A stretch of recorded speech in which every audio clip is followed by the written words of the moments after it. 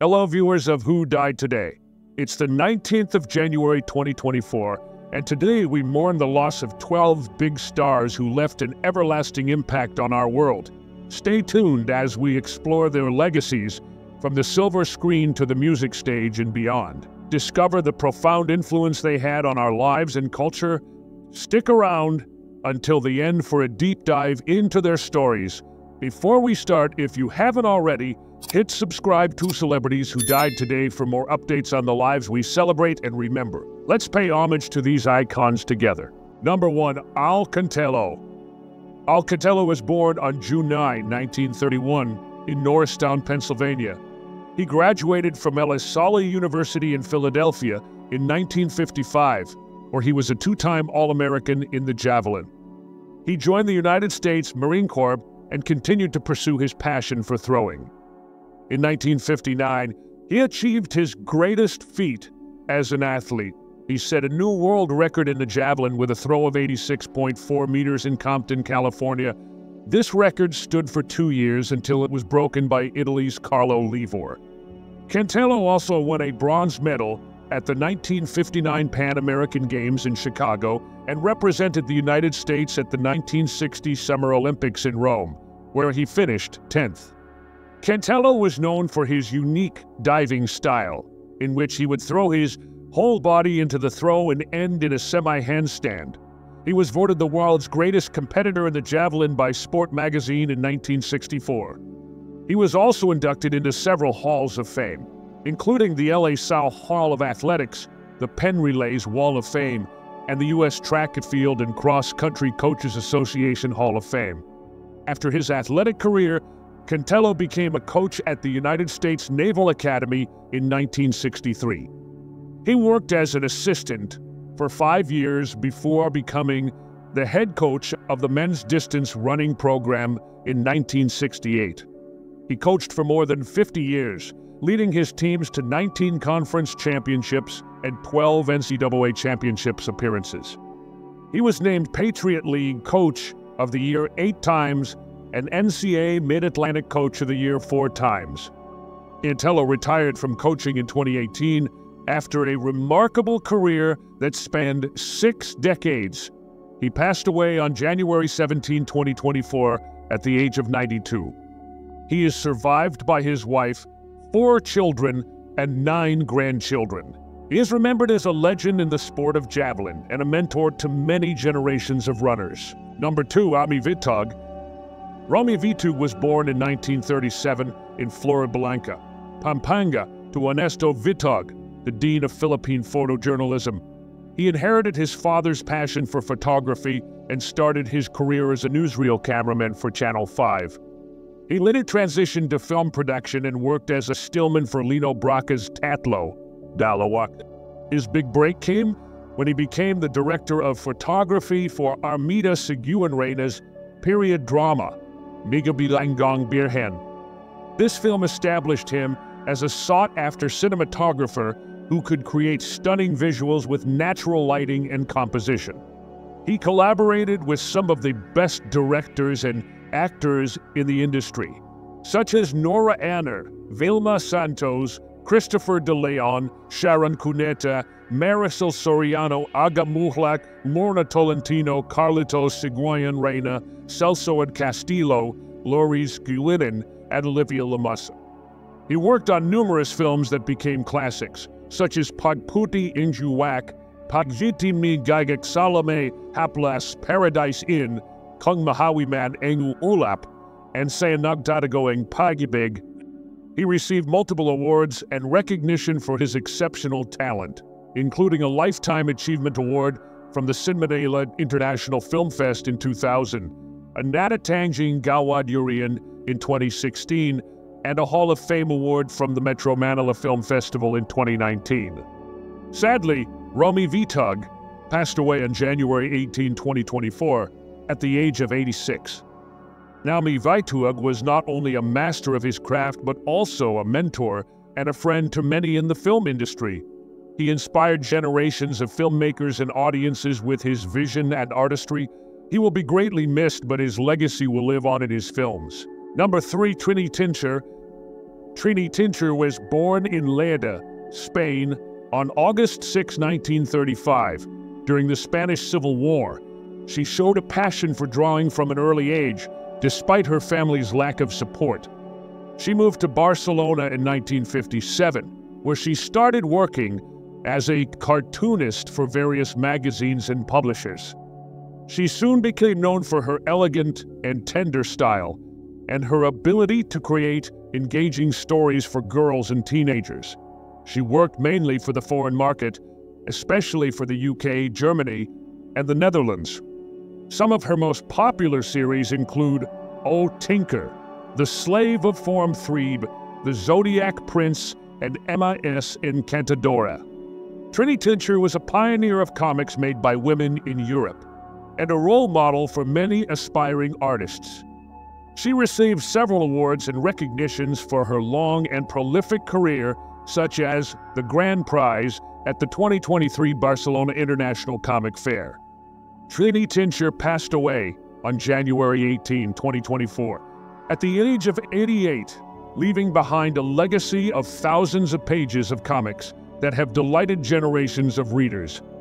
She will always be remembered as one of the masters of the medium and a source of inspiration for many. Number 4. Heinz Tesar Heinz Tesar was born on June 16, 1939 in Innsbruck, Austria. He studied architecture at the Academy of Fine Arts in Vienna under Roland Rainer, a prominent modernist architect. After graduating in 1965, he worked in various cities such as Hamburg, Munich, and Amsterdam before opening his own studio in Vienna in 1973. He also taught at several universities in Europe and America, such as Cornell, Harvard, and Venice. Tesar's architectural style was characterized by a refined and elegant use of materials, forms, and light. He often combined geometric shapes with organic curves, creating a harmonious and dynamic contrast. He also paid attention to the context and history of the site, integrating his buildings with the surrounding landscape and culture. Some of his notable buildings include the music studio in Steinach am Brenner, the Evangelical Church in Klosterneuburg, the Essel Collection Museum in Klosterneuburg, the Donau City Church in Vienna, and the Zwinger in Dresden. He also won several international competitions, such as the University Library in Amiens, the Synagogue in Dresden, and the Museum of Medicine in Padua. Tesar was widely recognized and respected for his contributions to architecture. He received many awards and honors, such as the Austrian State Prize for Architecture, the Heinrich Tessenow Medal, and the Grand Austrian State Prize. He was also a member of the Academy of Arts in Berlin and the Royal Institute of British Architects. Heinz Tesar passed away on January 18, 2024, at the age of 84. He left behind a legacy of inspiring and beautiful buildings that reflect his vision and passion for architecture. Heinz Tesar was a master of light and space, a poet of forms and materials, and a true architectural genius. Number 5. Giuseppe Ticli Giuseppe Ticli was born on April 5, 1979, in Vizzolo Predabissi, a town near Milan. He started his career at Inter, where he joined the youth academy. He never made his debut for the first team, but he was loaned out to several lower division clubs, such as Padova, Arezzo, Reggiana, and San Marino. In 2002, he returned to Inter, but he was again loaned out to Monza, where he played for two seasons. In 2003, he was involved in a swap deal with Milan, where he signed a contract but never played a single game. He spent the next four years on loan at various clubs, such as Lanciano, Catanzaro, and Pro Patria. He played his only season in Serie B with Catanzaro in 2005 6 but he only made one appearance due to injuries. In 2008, he joined Pavia, his last professional club before retiring from football. After his retirement, he played for some amateur teams in the Lombardy region, where he was well known and respected. Ticli was married and had two children. He was diagnosed with a serious illness in 2023, and he passed away on January 18, 2024, at the age of 44. His death was mourned by many fans, friends, and former teammates who remembered him as a humble, generous, and talented player. Ticli was a true example of passion and dedication for the game. Despite the difficulties and challenges he faced in his career, he will always be remembered as a part of the Italian football history. Number 6. Ray Henderson Footballer Ray Henderson was born in Wallsend, a town famous for producing many footballers, on 31 March 1937. He trained as a marine engineer and played semi-professional football for Ashington before joining Middlesbrough in 1957. He spent four seasons at Boro, but only made nine appearances for the first team. In 1961, he moved to Hull City, where he became a key player for the Tigers. He formed a prolific partnership with Ken Wagstaff, scoring 54 goals in 229 league games. He also made history as the first City player to come on as a substitute and score a goal in a match against Brighton in 1965. Henderson helped Hull win the Division III title in 1965-6, scoring 13 goals in that season. He also played in the second tier for two more seasons before leaving the club in 1968. He joined Reading as a player coach, but only played five games for the Royals. He retired from playing and focused on his coaching career.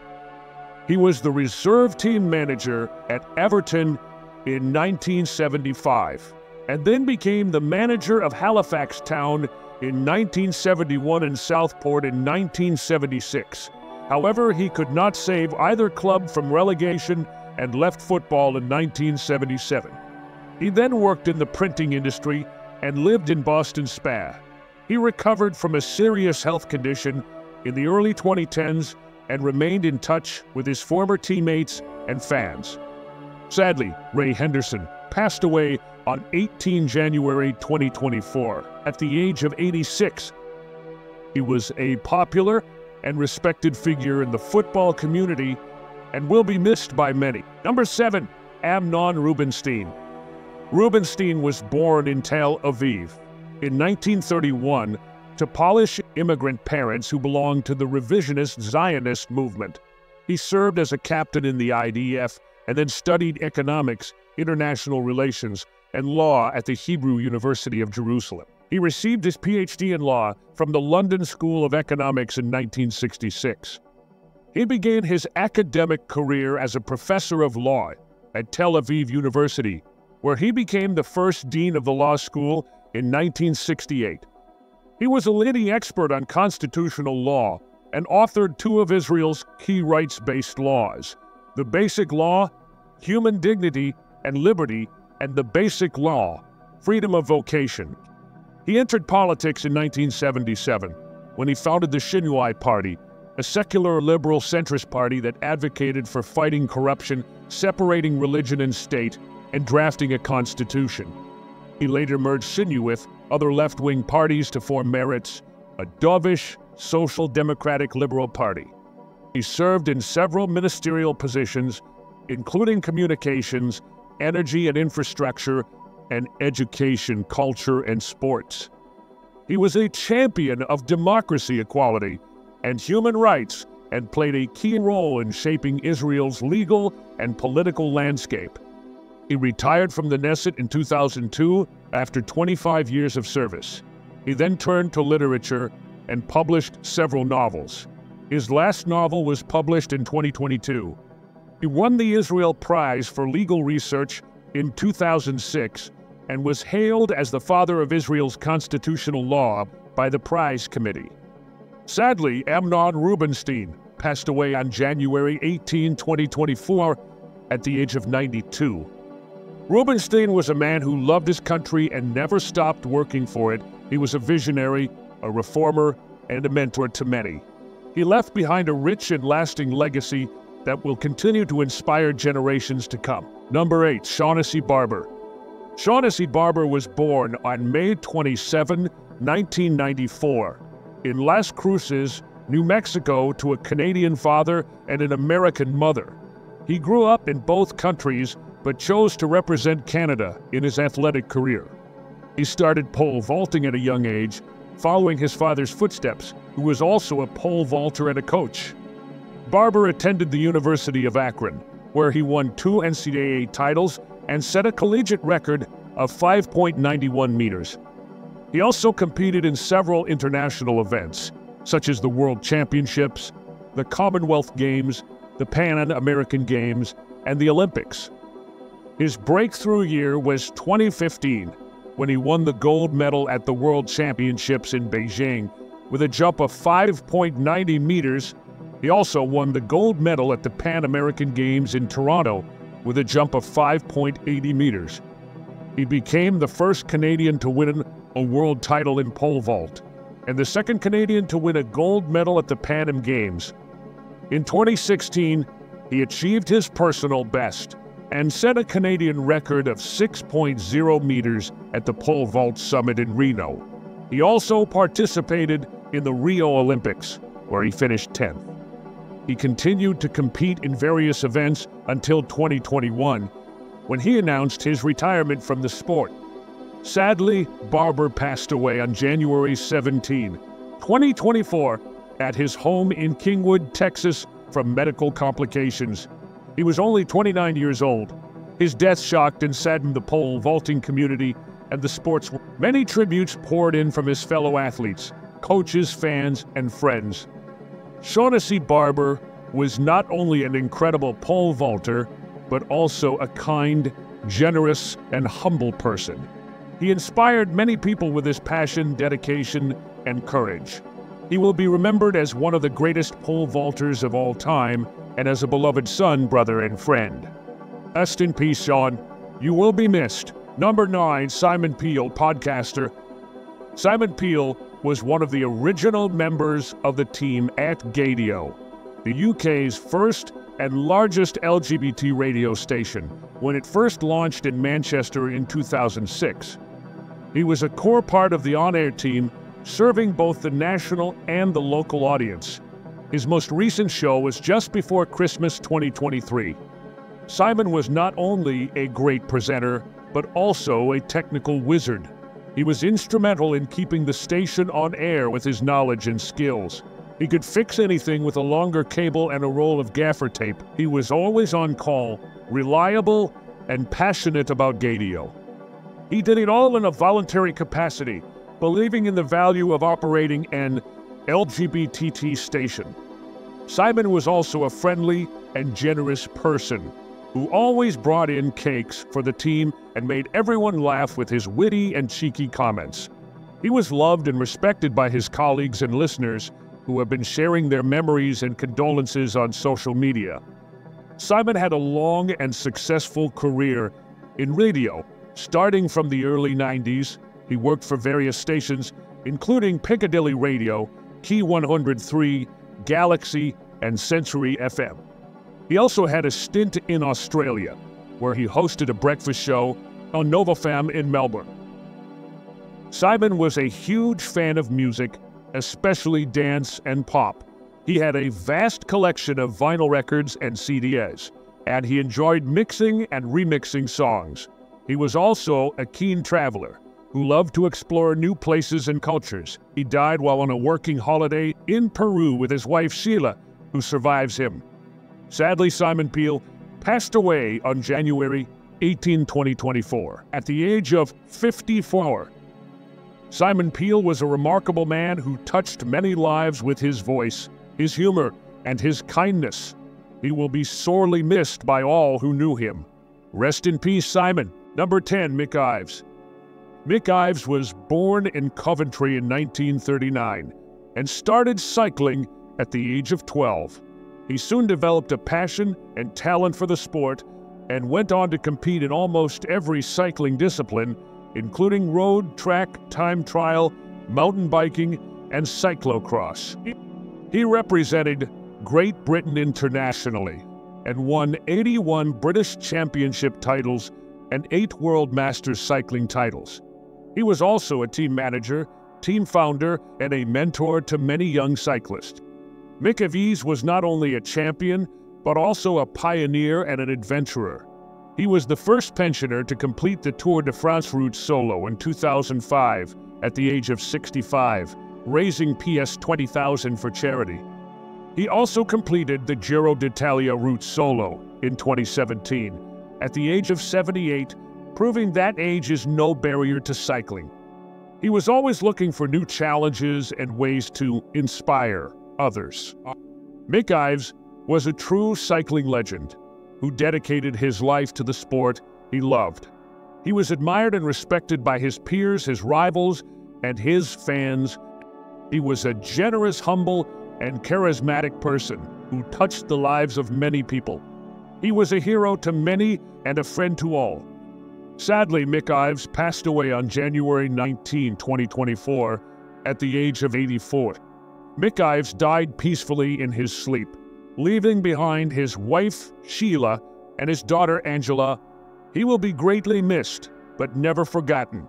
His legacy will live on through his My Racing team and club, and through the countless cyclists he inspired and supported.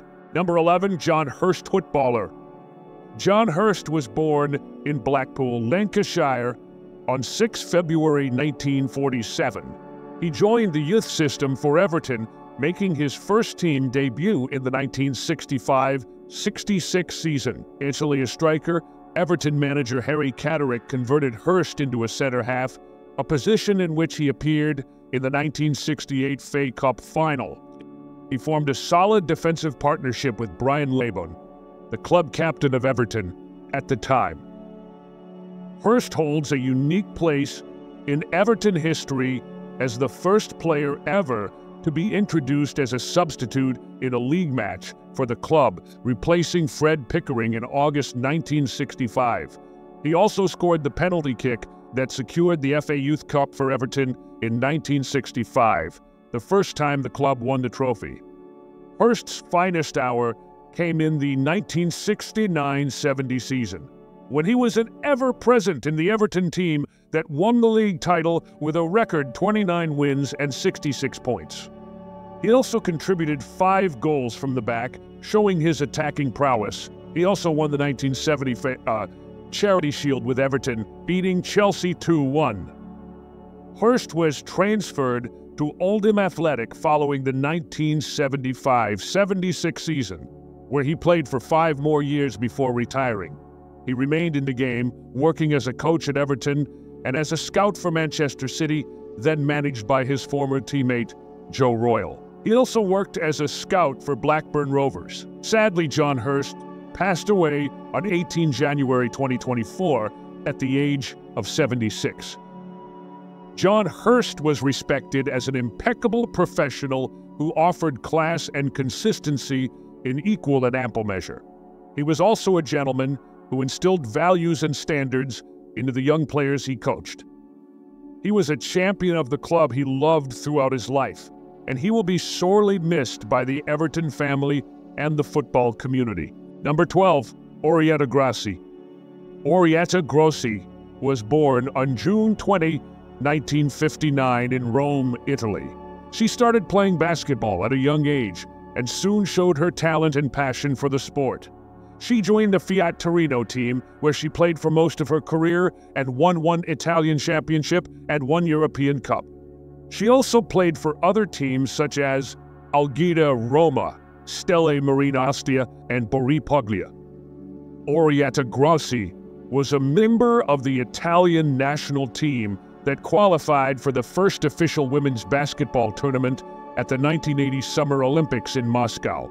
She wore the number 12 jersey and played in all five games, scoring a total of 29 points. Italy finished sixth in the tournament behind the Soviet Union, Bulgaria, Yugoslavia, Cuba, and Canada. Orietta Grossi was known for her height, strength, and shooting skills. She was a versatile player who could play both as a center and as a forward. She was also a leader and a mentor for her teammates, especially the younger ones. She was respected and admired by her opponents and fans alike. Orietta, Grossi retired from basketball in 1991 after playing for more than 20 years. She then became a coach and an instructor for young players, sharing her experience and passion for the game. She also remained active in the basketball community, attending events and supporting causes related to the sport. Orietta Grossi passed away in January 2024 at the age of 64 after a long illness. She left behind a legacy of achievements, dedication, and inspiration for generations of basketball players and lovers. She was honored by the Italian Basketball Federation and the Olympic Committee, who expressed their condolences and gratitude for her contribution to the sport. Orietta Grossi was a remarkable woman who lived and breathed basketball. She was a champion, a pioneer, and a role model for many. She will be remembered as one of the best players in the history of Italian and European basketball. As we conclude this heartfelt journey through the lives of 12 big stars who bid us farewell today.